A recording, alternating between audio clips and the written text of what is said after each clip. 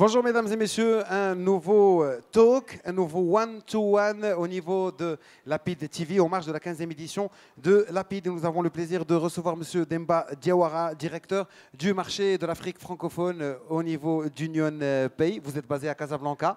Euh, bienvenue, merci d'avoir accepté notre invitation. Merci, merci de m'avoir invité, merci. Et vous êtes, euh, euh, je crois, marocain maintenant. euh, bon, ivoirien, bien sûr, mais aussi marocain parce que vous avez passé 10 ans parmi nous. euh, 10 ans où vous avez eu beaucoup de- d'évolution au niveau de votre travail, pas personnellement, mais au niveau du travail d'Union Pay. Alors, quels sont les principaux défis du paiement électronique en Afrique? Merci, merci pour l'invitation. Effectivement, on est là depuis euh, 10 ans au Maroc. Union de pays a été créée euh, en, Chine. Donc c'est un, scheme de la Chine depuis 20 ans. Et on est présent en Afrique depuis 2015. Et euh, le bureau du Maroc été ouvert en 2017. Donc depuis, on évolue et ça se passe très bien. Euh, alors les défis aujourd'hui, de façon générale, pour, les paiements, euh, c'est la confiance. Hein, vous savez, on est on a- en Afrique, les gens ont plus confiance au cash qu'à tout autre moyen de paiement. Parce que pour le cash, ils peuvent le toucher, ils peuvent savoir, ils peuvent le conserver, etc. C'est palpable. On sent qu'on a notre argent. Voilà. Donc, c'est de rendre effectivement le paiement électronique concret.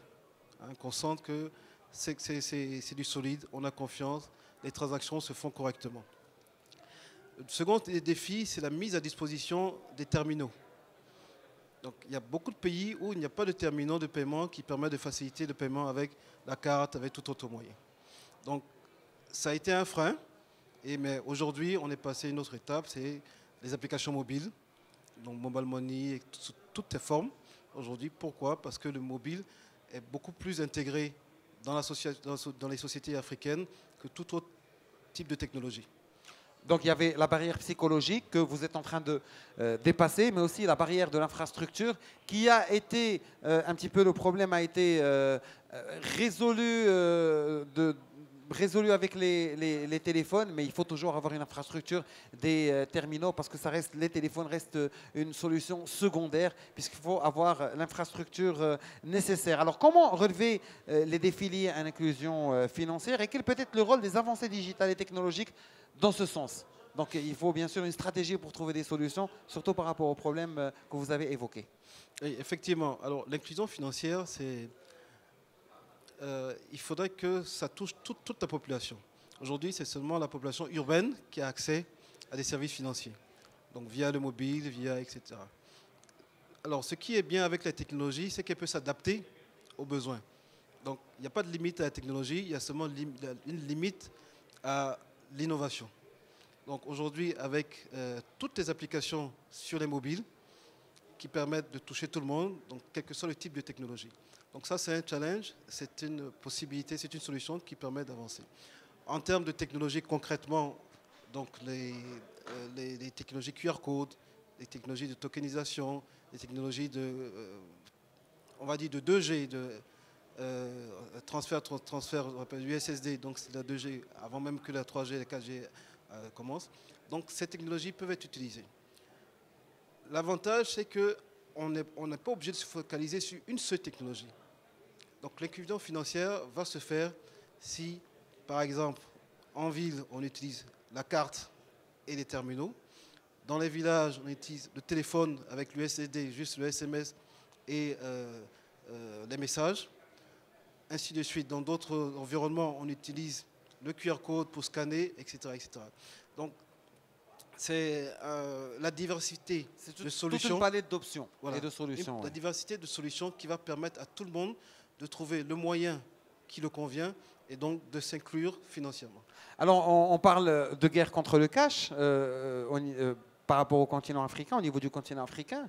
Et moi, je ne demanderai pas si, euh, on va finir par gagner cette guerre, parce que bon, je n'imagine pas que c'est le cash qui va gagner cette guerre.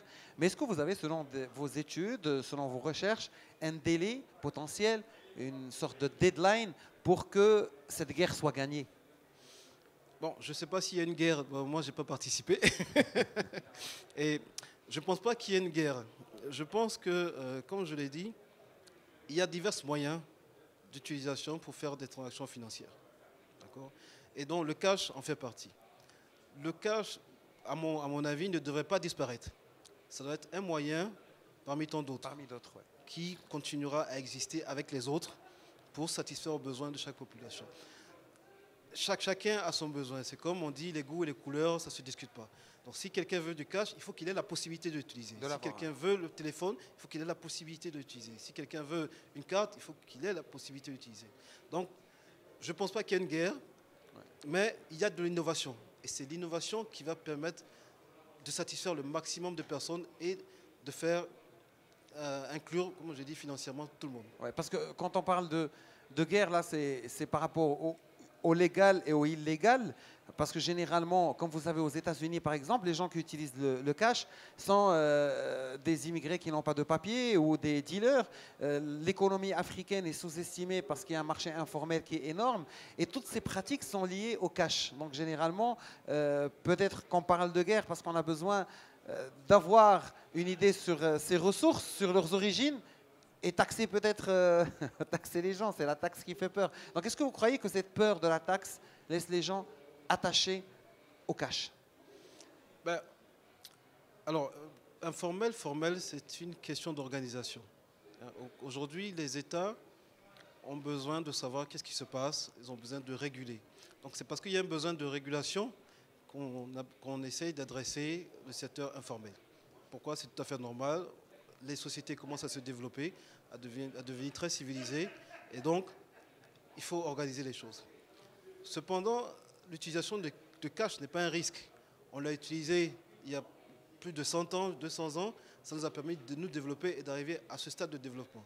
Donc ça, nous a, ça nous a permis de développer, ça nous a permis de créer toute cette infrastructure technologique aujourd'hui.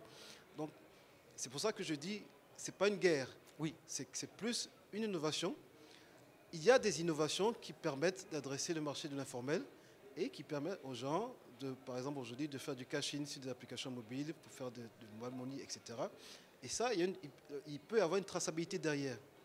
Et c'est cette traçabilité qui va permettre, d'organiser le secteur informel. Merci beaucoup, Monsieur Demba Diawara. Une dernière question par rapport au positionnement d'Union Pay, euh, par rapport à toutes ces euh, innovations, et puis quelles sont vos ambitions euh, dans ce sens? Alors, de- depuis euh, la création de- du bureau Afrique, dont le siège en Afrique du Sud, on s'est développé très bien dans toute l'Afrique. Aujourd'hui, on est présent dans plus de 50 pays, hein, c'est 50 51 pays pr- précisément. En termes d'acceptation, dans tous ces pays, tous les switches nationaux et les banques acceptent nos cartes pour faire les paiements. On, on est en train de passer à une seconde étape qui est l'émission de la carte Union Pay. Aujourd'hui, on a environ 6 pays qui émettent la carte Union Pay et on a environ 1 million de cartes émises le continent africain.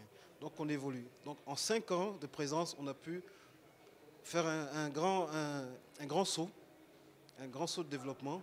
Et pourquoi? Parce qu'on utilise beaucoup l'approche partenariat. On est partenaire de tous les switches et ici à, PID, tous les opérateurs technologiques dans le, dans le domaine du paiement sont certifiés Union Pay. Donc ça a été d'abord ce préalable à mettre en place. Et maintenant, ça permet aux banques, quand elles veulent émettre nos, produits, de trouver un opérateur qui est certifié, qui connaît la technologie, de trouver un réseau d'acceptation qui va permettre à ses clients d'utiliser la carte. Et donc, c'est cette étape aujourd'hui qu'on est. Et c'est pour ça euh, que je viens de faire tout de suite une session sur nos services premium qui accompagnent nos cartes. Merci beaucoup, Monsieur Demba Diawara. Je rappelle que vous êtes directeur de- du marché euh, francophone au euh, à Casablanca, bien sûr, euh, pour Union Pay. Merci d'avoir accepté notre invitation. Merci à vous. Merci.